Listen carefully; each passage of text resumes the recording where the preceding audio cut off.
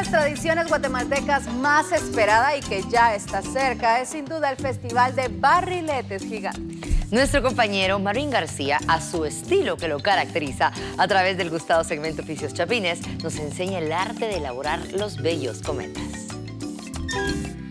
No, mucha, no me convence ese ojo, Vince. Yo lo miro que, que muy, muy, muy gordo.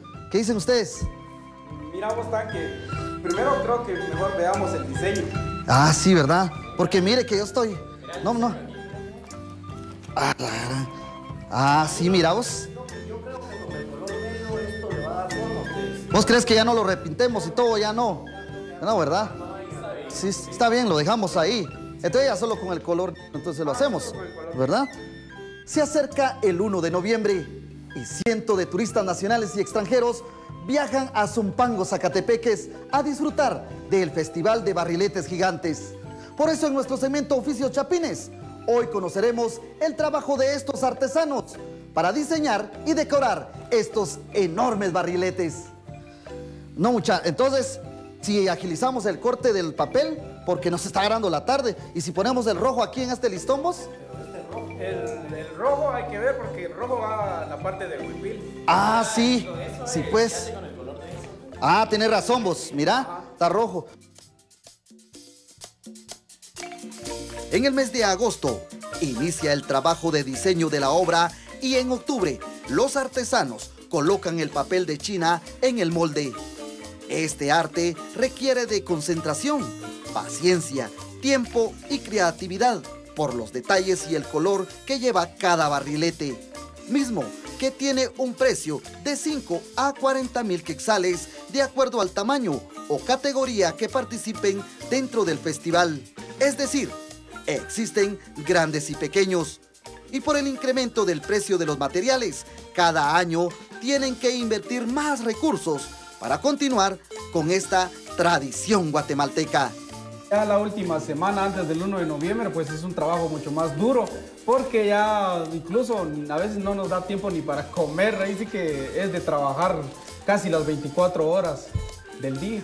Aquí por lo general pues con los compañeros siempre ponemos de nuestra bolsa, hacemos una cooperación entre todos y más de alguna institución o entidad pública de repente que nos ayude con algo, algún aporte económico. Vos para no caer en un error estaba viendo yo el diseño y que los colores fuertes tienen que ir de fondo, porque si no nos va a suceder del, año pasado, ¿te recordás? Que pusimos unos todos bajos de, color, todos opacos, y cuando lo eh, pusimos en exposición, el sol y, la claridad lo bajó y no se miraba bonito. ¿Cuáles eh, creemos además del rojo? Porque tienen que ser muy profundos, mira. Creo que aquí tenemos el color fucsia, también tenemos el rojo, tenemos dos tonalidades, que está también el rojo oscuro. O podríamos usar también el color naranja. Ah, el naranja, sí, pues. Y el morado.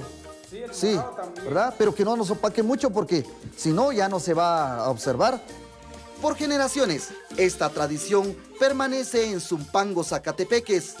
Y son varios los grupos de jóvenes y mujeres que participan. Según cuentan artesanos, la elaboración de los barriletes nace porque los abuelos consideran que se pueden comunicar con sus seres queridos ya fallecidos que era la comunicación entre el cielo y la tierra con nuestros antepasados y con nuestros seres queridos que han partido de este mundo. Entonces a través de los barriletes pues los recordamos cada uno de noviembre. Y de esta forma que también cuenta la leyenda de que se ahuyentaban los malos espíritus de, Zumpango. Entonces por esa razón se hacían los barriletes. Ya casi terminamos, vamos ya. Mucha, y el tanque. ¿Ah, está dormido, mira? Desde que vino.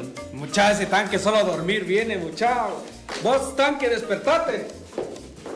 Ay, ¿Qué pasó, ya? Ya terminamos. Ya, terminamos. y no, allá, pues. Lado de la mano, ya vieron. Ustedes saben que yo siempre soy el de la estrella eso, ¿verdad? De darle el último toque al barrilete.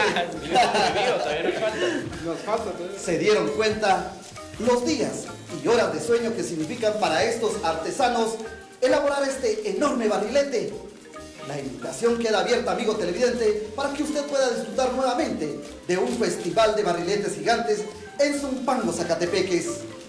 La próxima semana vuelvo con un nuevo oficio chapín, con imágenes de Eliseta, edición Julio Atú, reporta para Noticiete. Marvin García. Mucha, no hay algo para comer. Sí, sí, yo cuando, ya, también ya, más hambre, ¿verdad?